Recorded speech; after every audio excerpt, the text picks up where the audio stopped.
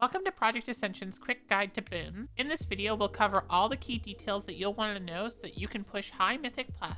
When it comes to boons in Mythic Plus, this affix actually applies to all key levels. It is very important to utilize the power spikes these boons can give.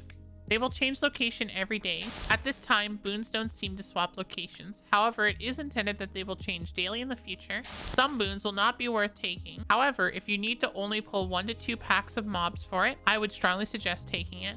When you or a party member clicks a boon crystal, all party members within line of sight will obtain one of the 13 available boons. These boons will go into your inventory and you will have 10 minutes to use the boon before it expires. You and your party can end up having multiple of the same boon. When used together, they will stack up to 5 times. Boons are also usable well in combat. Next, we will cover each boon and how impactful they are when running Mythic Plus.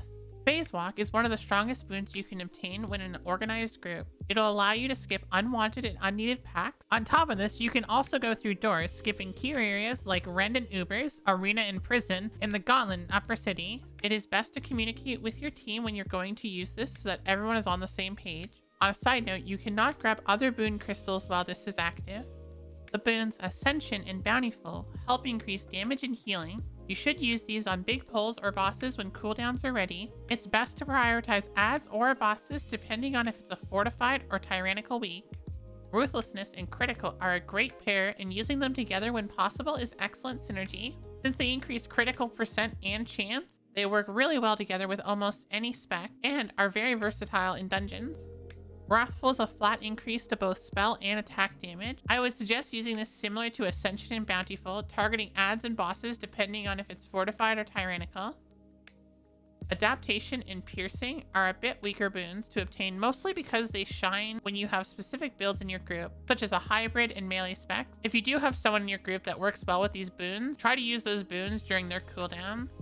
Sanctified is an excellent defensive boon to use. The healing output of this boon is very high, it is capable of keeping a party up through heavy AoE damage. Sanctuary is not as great as it may seem. With a 15% damage reduction, the main reason for this is that you cannot reduce the damage of affixes, so only use this to negate damages from bosses and ads.